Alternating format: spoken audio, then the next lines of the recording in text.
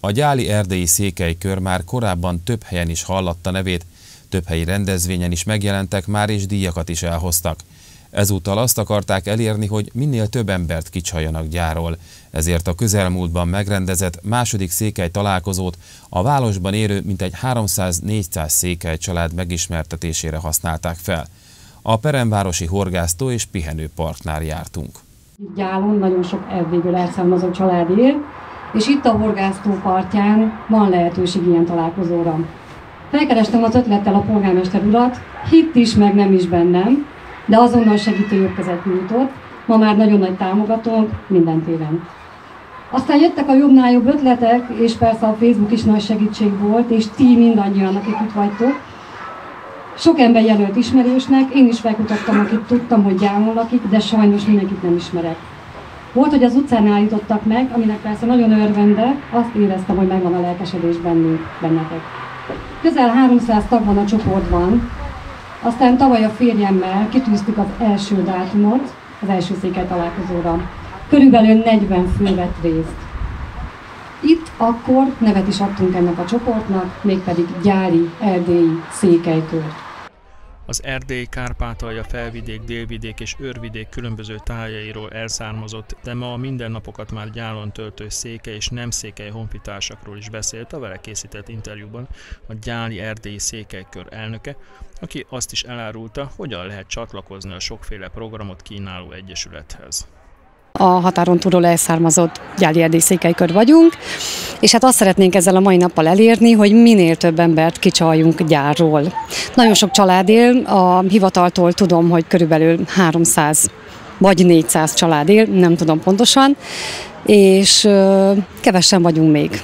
Mert ha sokan vagyunk, sokra vihetjük. Szeretném, ha minél több ember kijönne, és ezért próbálkozunk székely találkozókkal. Ez most már a második, és lesz egy székelybálunk is.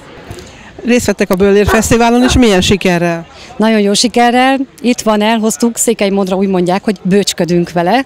Tehát elhoztuk a díjainkat, elhoztuk a harmadik díjat, a legjobb csapat és a legjobb süteményt. Plusz még a, a külön Fajt István Mesterböllér díját, ami egy nagyon finom viszki volt, meg 30 ezer forintos vásárlási utalvány, amit ráköltöttünk erre a rendezvényre. Milyen terveik vannak erre az évre a Székelybálon kívül? Mit szeretnének elérni, hogyha mondjuk most kijönne mind a 300 család? Hát ha ma kijön a 300 család, annak nagyon-nagyon fog örülni. Nincs idén több tervünk a székelyben. Jövőre, jövőre sok minden tervünk van, tehát részt vettünk a, ebben az évben is nagyon-nagyon sok helyen, nagyon sok rendezvényen. Nemzeti Összetartozás napján, a Székely Szabadság napján, a gyári rendezvényeken, székely találkozót nagyobbat szeretnénk, minél több ember kijön, és a székelybárt jövőre is még nagyobb körbe szeretnénk a csarnokba megszervezni, megrendezni. Aki szeretne csatlakozni ehhez a csoporthoz, az hol teheti meg? Egyenlőre csak a Facebookon, tehát két oldalunk van, csináltam egy Facebook csoportot, ahol közel 300 ember van már benne, elég aktívak, hála az égnek, és van egy like csoportunk, azt ugye mindenki látja, a Gyári Erdély Székely körnek zárt csoportja van. Én azt szeretném, hogyha a gyálon élő határon túlról elszármazott emberek jelentkeznének, hiszen velük szeretném elsősorban, velük, velük szeretném elsősorban összehozni ezt a csoportot. Nyilván a, a bálainkon a, az olcsai testvér székelyek, a Sziget-Szentmártoni, Sziget-Szent Miklósi, Peszent Imrei székelykörök is csatlakoztak, de ezeken a székely találkozókon, amit elsősorban ezt szeretném kihangsúlyozni, ezen azt szeretném, hogyha, hogyha a gyálon élő, gyálon lakó, gyálon megtalálták, tehát azok a családok, akik megtalálták itt a helyüket, azok jöjjenek ki. Az Országgyűlés szakbizottságának elnöke köszöntőjében pedig a többi között arról beszélt, hogy a parlament döntése értelmében 2020 a nemzeti összetartozás esztendeje lesz. Mindig kell egy elhivatott ember, aki nyakába veszi a terheket, persze kellenek hozzá segítők, de én nagyon-nagyon szépen köszönöm Katalinnak, és gratulálok hozzá, hogy létrejött az Egyesület, létrejött ez a baráti társaság, tulajdonképpen szülőföldről érkezett emberek itt ismerték meg egymást, hogy évtizedek óta, vagy sok-sok éve itt lakunk gyáron, és most találkozunk így együtt, és mennyi szép program történt már az Egyesület életében. Köszönöm szépen Katalinnak, hogy összehozta a, a székelyeket, és hát természetesen a körnek ennek a közösségnek. Nem csak igazi székelyföldiek lehetnek a tagjai, hanem miért ne lehetnének ott a párciumiak, a bánátiak, a mezőségiek, a szilárdságiak, miért ne lehetnének ott kárpátaljaiak vagy felvidékiek, tehát mindazokról a területekről érdemes összefogni egy közösségbe azokat, akiknek a szülőföldjét majdnem száz esztendevel ezelőtt leszakították erről az országról, és aztán különböző okok miatt, akár a nagyszülők, akár az elmúlt években, de hát ide telepettek az anyaországba, és most egy közös lakóhelyünk gyár, itt ez a Budapest melletti kisváros, és egy új otthon, de hát arra kérek mindenkit, hogy értelemszerűen az ősök szülőföldjét soha ne feledje el. Ma tényleg elmondhatjuk már azt, hogy a Kárpát-medence egy közös kulturális tér ahol Mátyás király emlékév van, Rákóczi emlékév van, Márton Áron emlékév van, Szent László emlékév van. Ezek mind olyan kulturális gyökerek, amelyek összekötnek minket. És hál' Istennek elmondhatjuk azt is, hogy a Kárpát-medence egyre inkább egy oktatási tér is nekünk. Gondoljanak bele abba, hogy több mint 40 milliárd forintért az elmúlt évben és az idei évben a magyar kormány óvodákat épít, felújít, bővít, az elszakított országrészeken. 150 vadonatúj óvoda, 350-nek a felújítása, hogy a kicsik is megfelelő helyen legyenek. Iskolák épülnek. Egyetemeink vannak Csíkszeredán, Marosvásárhelyen, Nagyváradon, eh, Komáromban, Beregszászon, Újvidéken, Európa Kollégium, tehát a felső oktatásig megkapják a magyar nyelvű képzést a magyar gyerekek ott a szülőföldjükön. És elmondhatjuk most már azt is, hogy a Kárpát-medence egyre inkább újra egy magyar gazdasági tér is, hiszen gazdasági pályázatok segítik elő azt, hogy magyar vállalkozó helyben tudjon maradni a szülőföldjén, másik magyarnak munkát tudjon adni, és meg lehessen maradni ott a szülőföldön. Elindult ez a délvidéken, Kárpátalján, felvidéken, és az idei esztendőben mintegy 25 milliárd forinttal Erdélyben is, ami az elkövetkezendő években szerintem 100 milliárdos nagyságrendű lesz a magyar vállalkozásoknak a támogatása ott a szülőföldön.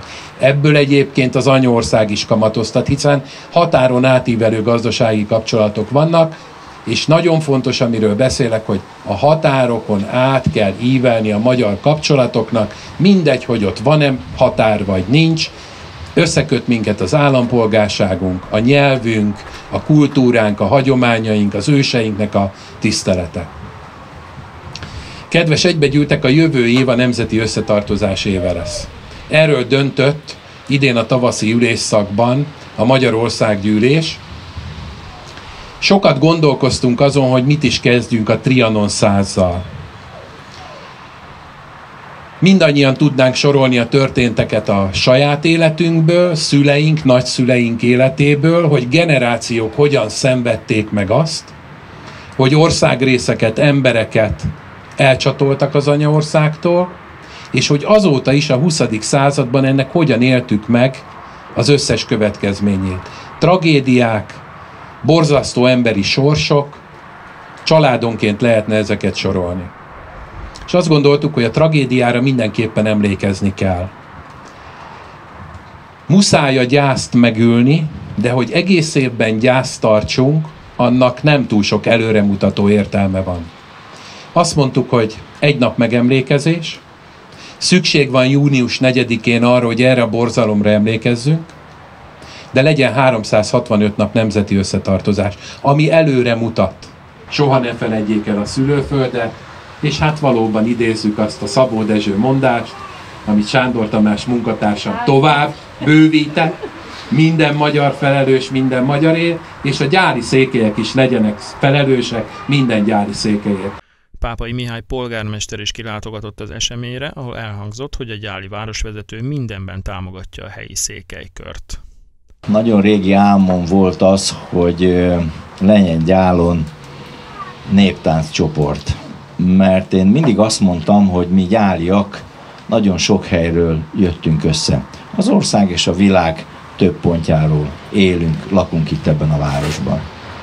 És annak külön az külön örömmel tölt el engem, hogy ennek a kis néptánc csoportnak, amely idestova már több mint két éves, a magját a székely gyerekek adják.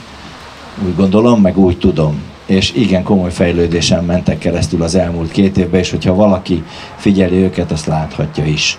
Nagy örömömre szolgál, hogy tavaly megalakult a Székely Kör, és Katalint én is megismerhettem. Az én nyelvjárásomban, meg lehet más férfiakéba is, úgy mondjuk ezt, hogy egy tűzről pattant menyecskét. Aki egyébként rettenetesen komolyan és igen nagy elánnal képviseli az önök érdekeit, nálam mindenféleképpen, és ahogy hallom a országgyűlési képviselő úrnál, Karcsi barátomnál is, és úgy tudom, hogy Tamásnál is. Hát ilyennek kell lenni egy vezetőnek. Én azt gondolom, hogy bízzanak benne, húzgálják a fülét, hogyha van ötletük. Mi bizonyára helyt fogunk adni ezeknek a dolgoknak, támogatjuk, hiszen ez is egy olyan civil szervezet, amely értéket képvisel a városban, és minden olyan, ami értéket teremt és képvisel a városban, azt támogatjuk. Az eseményen ünnepés zászlófelvonást is tartottak, a történelmi egyházak megjelent képviselői pedig megáldották a gyülekezetet és az Egyesület zászlaját is.